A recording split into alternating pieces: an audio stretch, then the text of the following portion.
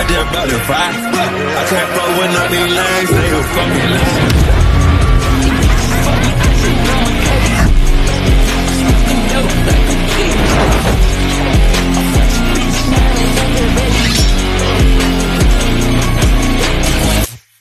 Okay, so Tiara. We call her T Money because she don't like being called Tiara, even that's her real name. I like call her T Money. I have seen you speak on players climbing and not falling. If I were to label a player being the most consistent, most consistent out Okay. of everybody we have, it would be a three-way race between Fantasia, Callie, and T. With T probably at number one because T has not missed a practice. I Oh. think she, unless she got, I I, think she might have missed one, but I think she was sick. I, I may be wrong. I might, she might have still made it. I don't think she has missed anything. She might not. If she did, it was early on. All I know is I've seen T at every practice. And to your point, unlike some, players are practice players, she a leader. she's a leader. She's talkative, vocal. She's passionate because when y'all don't play the play and execute the play the right way, I swear her face is about as red as your IU t-shirt. I swear she gets lit. If you don't follow the simple directions, the way the play's supposed to be played, she ready to throw a clipboard at you. She'll make a great coach. She, she ready to throw a clipboard at you. I would too. That's how passionate it is, man. Listen. Yeah. Yeah, So so I'm- overall, is there what would you like if you if you could pick one particular thing about T's game that you feel she could improve on and you would like if you were like her her trainer or coach, what could she improve on that would elevate her game to the next level? it's definitely something I would have to think about. Okay, so I would say she would get down on herself sometimes in the game. Yeah, she's hard on herself. She is. She's not the only person though. That's okay. No, I, no, no, no, no, no. Right. It's okay. It is. Thing is, I don't know if people notice, but I use a, a little quote from Skylar Diggins. It's Okay. called play. Next play. When you don't make a shot or somebody stole the ball or something from you, Right. hurry up and get down to the next hurry up and go get that ball. You feel me? Mhm. It's next play. I'm Right. not the only person that I tell that to. Trust me. Mm, Because of everybody is next play. I learned that in like was I in middle school or high school? I think I learned that in middle school. Next play, play, next play. I Mhm. get it. Trust me. I get frustrated when I play ball, but you got to get your butt down there. You can't just stop. She don't stop, but it's like I don't. I don't know how to explain it.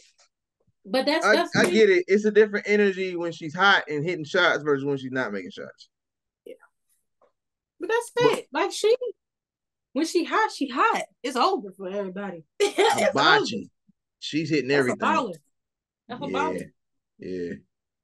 I like that. No, that, that was good. That was good. Um, we already kind of broke down the Royals rivalry.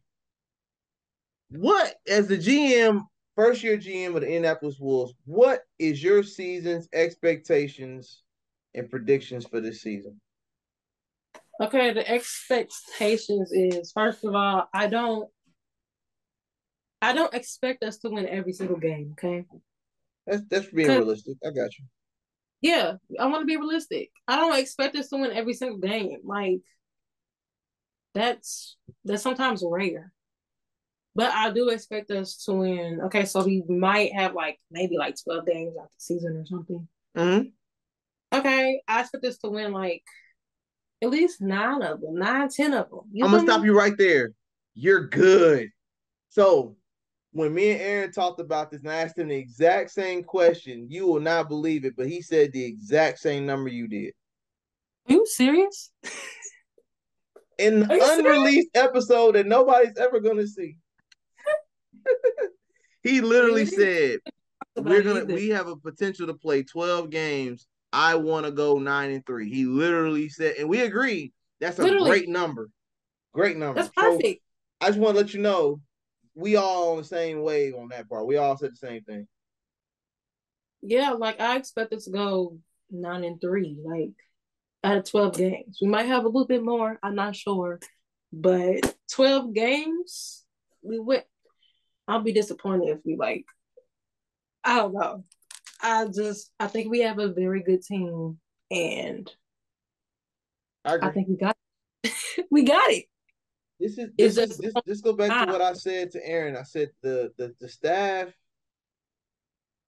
essentially all of us have played ball to a high enough level that we're competitive by nature. Yes. None of us like losing. None of us like losing when you when you're in a winnable situation and you have a winning team, a team that's capable of producing wins. Yeah. So the expectation should be from the staff down, we should win more games than we lose because we're gonna get better every week. We're gonna we're gonna see it in practice every week. We're gonna see it on the court per quarter, per game, per Yes. week. Anything we do to improve week in and week out should produce more wins than losses. Based on the Amen. trajectory that we've we're already we're already 2 and 0 as a team. Yes. Yes, we are. So let's not sleep on that. And I honestly, like you said, I honestly feel like out of all the teams we got coming up, They're gonna be There's no difficult. it's, It's it's gonna going be to be difficult. challenging. It's going to be challenging. But if everybody I think- buys into it, we should win.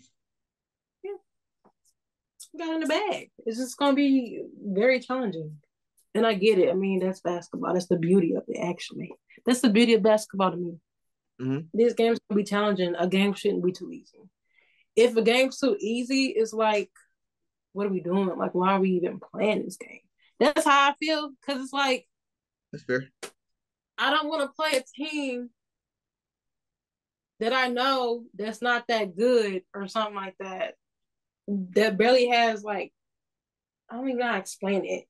No, I got I hard to- got I got oh. one for you. So there's certain in NBA and WNBA, there are Okay. certain teams that play down to their competition. Okay, yeah. So if you play lower level competition, you're not going to elevate your game. You're going to regress because you're coming down to play a lower level team. It doesn't require the effort or the energy or the passion to win. You know you're going to win, so you're not going to try nothing to improve because you already know if I just half ass it, I'll win.